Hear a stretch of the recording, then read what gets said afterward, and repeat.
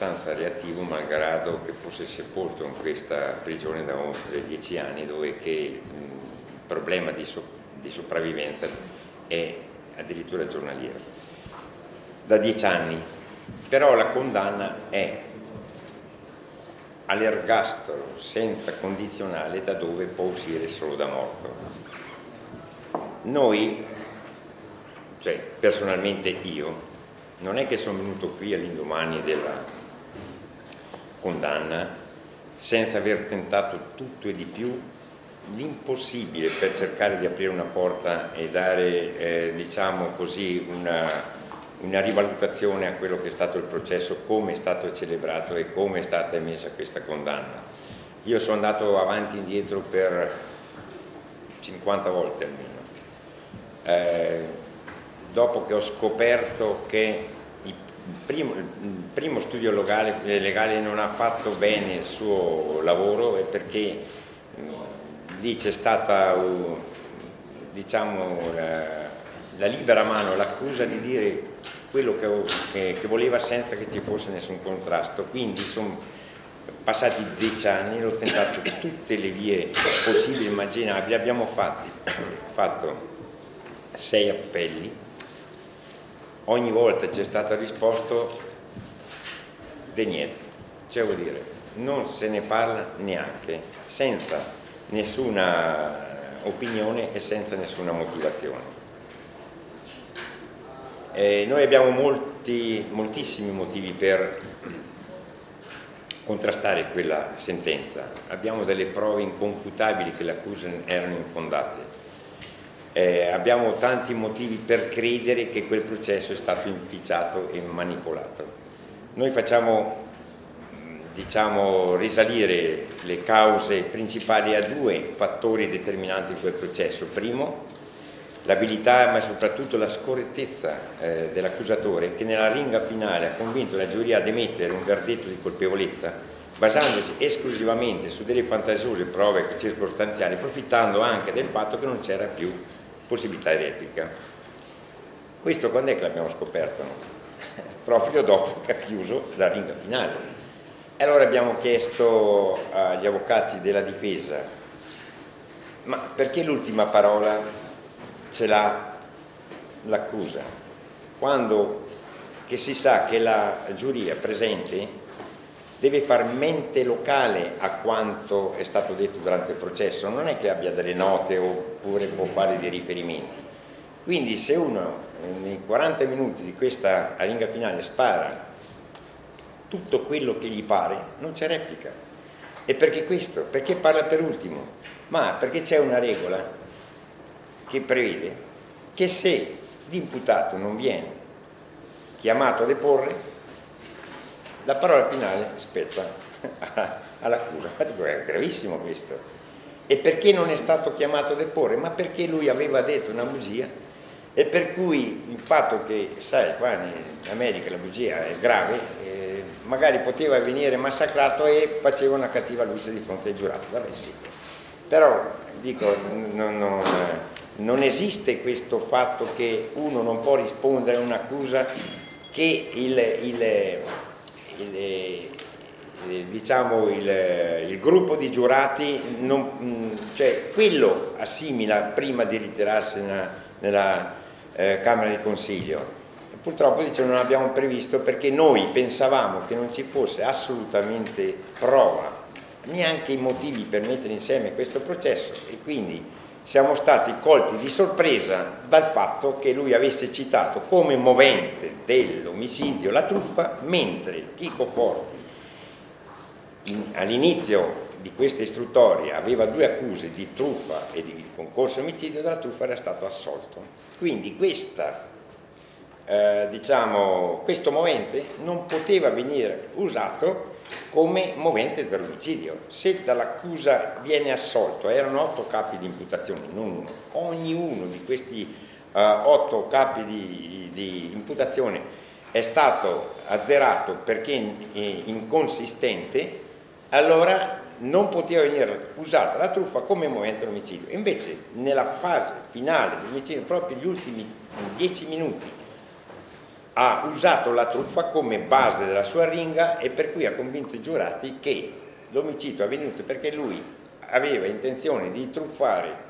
diciamo, eh, un albergatore il cui figlio è venuto ospite suo e dopo mezz'ora che lui l'aveva eh, prelevato all'aeroporto e portato in un ristorante dove lui gli aveva detto portarli, non l'ha più visto, l'ha incontrato per la prima volta in quella occasione e per l'ultima volta mezz'ora dopo, gli hanno imbastiti addosso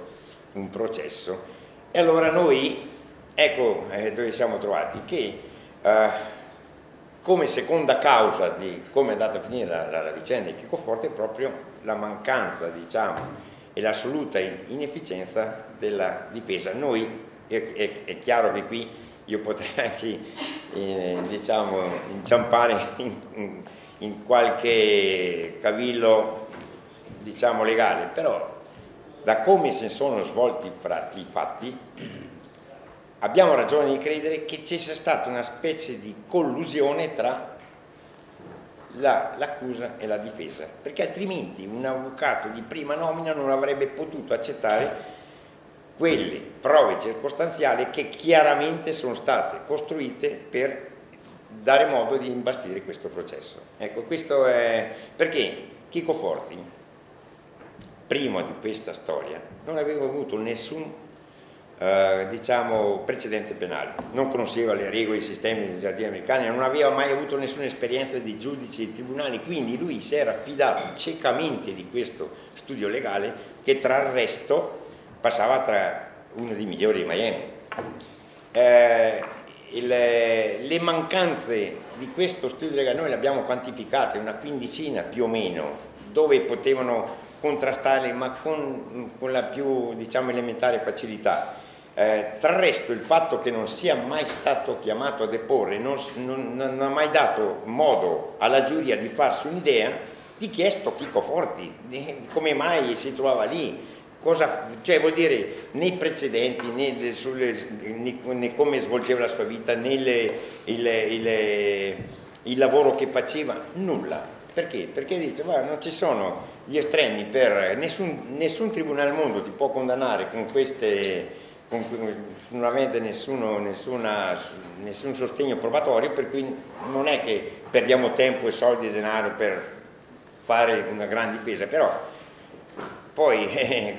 ci siamo trovati che dopo questa ringa finale, più o meno un paio di ore di Camera e Consiglio, questa giuria ha emesso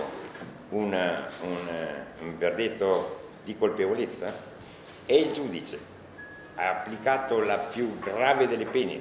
eh, taluni pensano che sia ancora più grave della pena di morte, perché una condanna all'ergastolo dove può uscire solo in un sacco, ecco questa è una condanna che io credo che ognuno di noi qui non, non può neanche concepire, cioè vuol dire troppo forte, troppo, troppo cattiva, nel senso se uno cioè vuol dire, vuol, vuol dire proprio azzerare la vita di una persona, questo è il problema. E, e siccome adesso noi abbiamo fatto eh, sei appelli, ogni volta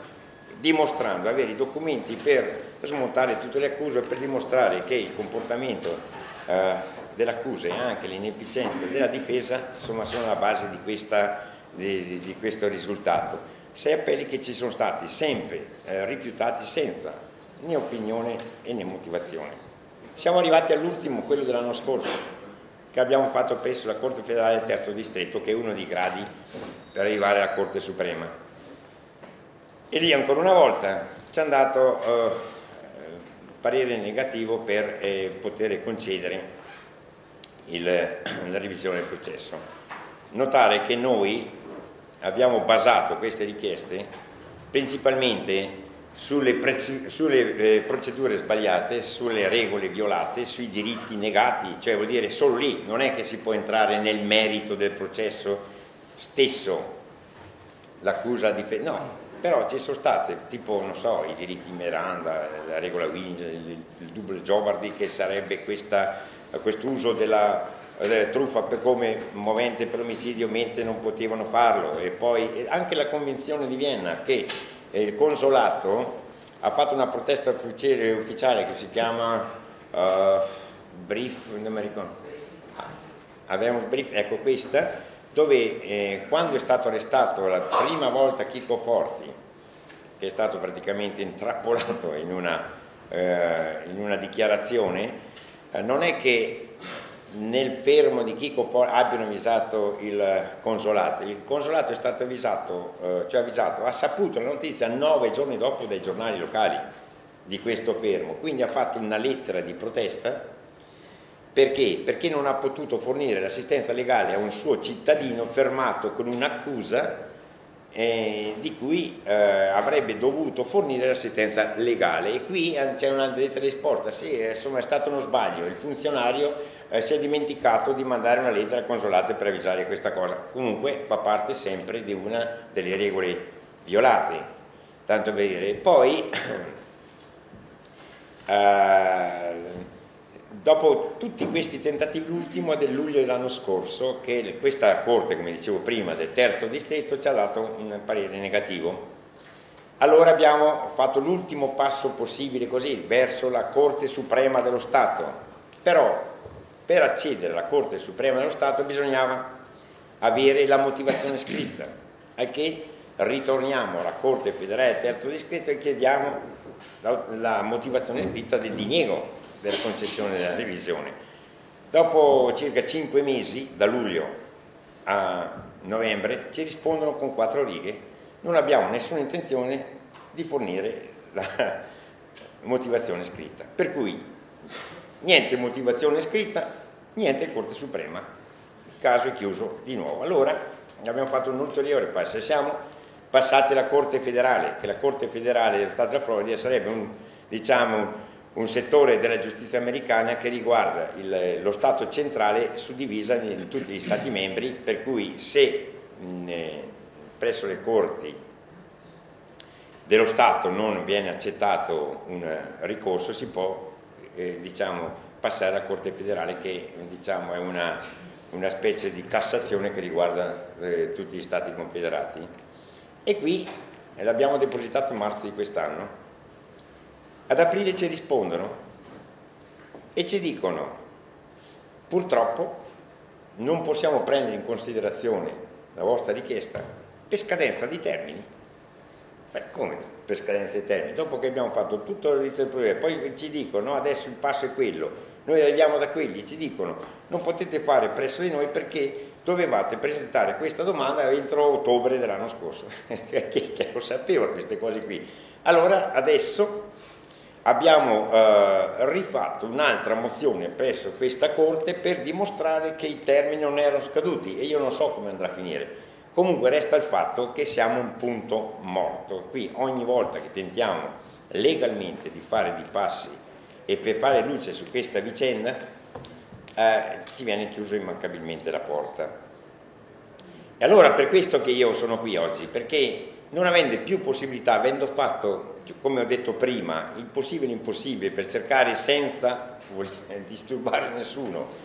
di eh, cercare di ottenere la revisione di questo processo, non ci è stato dato modo di farlo, anche se abbiamo tutti i documenti, ma documenti eh, tratti dagli atti del processo, non che ci siamo inventati noi nel mattina quando ci siamo svegliati è per dimostrare che le accuse contro Chico Forti sono infondate e che lui non c'entra nulla con il delitto che gli è stato ascritto, ecco, non abbiamo avuto modo più di dimostrarlo. Ora, chiaro che qualcuno mi ha detto prima, ma sai, eh, gli americani, una volta che hanno emesso diciamo, un verdetto dove che il popolo è sovrano, il popolo è deciso, giusto o sbagliato che sia, non tornano più sulle loro decisioni, a meno che non ci sia eh, un intervento politico ma di altissimo livello, perché insomma da noi per esempio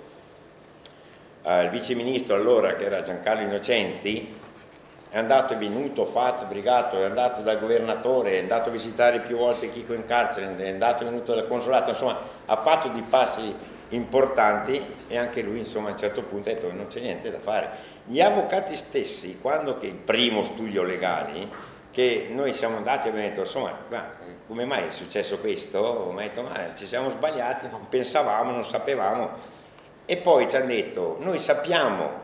che Chico Forti innocente, però non possiamo più farci nulla. Ecco, questo è diciamo in linea di massima la storia, poi se volete vi spiegherò i motivi per cui noi possiamo dimostrare che Chico Forti è innocente, eh, insomma ce l'abbiamo scritto, ho fatto qui un piccolo riassunto, ma poi ho tutto un dossier. E quindi a questo punto l'intervento può essere solo ed esclusivamente politico, ma di alto livello, insomma, diverso. Il Berlusca che va dall'Obama e dico, senti Vecchio, come diciamo noi in Trentino, guarda che qua le cose insomma non stanno così, noi non possiamo essere i piccoli italiani che sono lì sempre dietro la coda del, del, del, del grande americano a subire tutto, cioè, ecco perché io sono qui e invito anche la stampa presente a sottolineare questo fatto, perché amplifichi questa protesta, perché insomma secondo me c'è un'ingiustizia di base che non riguarda solo Chico Forte in se stesso, ma anche diciamo, l'atteggiamento del governo italiano che non può abbandonare un, uh, un, suo cittadino in qualsiasi parte del mondo si trovi, quando che è evidente che ha subito un sopruso, e lasciarlo a se stesso e dire ma abbiamo cose più importanti da pensare. Qua delle volte vediamo per televisione che immobili al mezzo mondo, se una balina si incastra tra i ghiacci, questo qua che è infilato dentro in una galera dove non si sa se domani è ancora vivo, perché questa è la realtà lì, in quelle galere c'è un morto al giorno, questa è la grande realtà lì 1700 de detenuti in questo carcere, suddivisi in braccia, dove che lì le, mm, eh, diciamo, le baruffe o, le, o è all'ordine del giorno e spesso volentieri eh, ti tagliano la gola tanto che dormi, hai capito? Ma basta un niente, come mi, mi diceva Pico, se scoprono che tu hai a disposizione, non so, 100 dollari sul tuo conto e uno viene e ti dice senti comprami un pacchetto di sigarette e tu gli dici no, quello ti taglia la gola, insomma ecco può essere un motivo di questo tipo qua. E poi le loro prigioni sono veramente delle cose che noi, insomma, io non auguro a nessuno di provarle chiaramente, ma anche entrare e vedere come è eh, diciamo, gestita questa, questa, loro la definiscono uh, istituti di correzione, cioè di riabilitazione, eccetera, ma lì quelli là eh, devono uscire dalla camera e ci sono delle orme dove devono mettere i piedi. Devono andare da un lago all'altro, devono chiedere il permesso anche per andare al gabinetto, insomma c'è una cosa, proprio la distruzione totale della personalità a, a, tutti i livelli, cioè vuol dire eh, è una cosa tremenda, quindi già sopravvivere è difficile, cioè vuol dire se domani io sono qua a dire quello l'hanno ammazzato e dice ma insomma piangiamo tutti insieme, mettiamo un mazzo di fiori sulla tomba, ma io non voglio che si arrivi a questo, anche se il pericolo è questo, perché in fin di conti questo Chico Forti eh, è riuscito a farsi rispettare perché eh, lì chi si dimostra debole diventa automaticamente una preda quell'ambiente. È riuscito a farsi rispettare sia dagli altri detenuti che dallo staff che carcerario e quindi in questo contesto si sta ancora muovendo, però abbiamo un altro pericolo che lì ogni due o tre anni cambiano prigione a quasi tutti i prigionieri, perché lì è un carcere di massima sicurezza, cioè vuol dire lì ci sono dalla pena di morte a quelli che hanno 3, 4, 5 ergastoli, chi è il minimo più bravo ha 30 anni, insomma. Quindi stringo, stringo. Ecco. No, per fare qualche domanda magari poi dopo approfondiamo un pochino.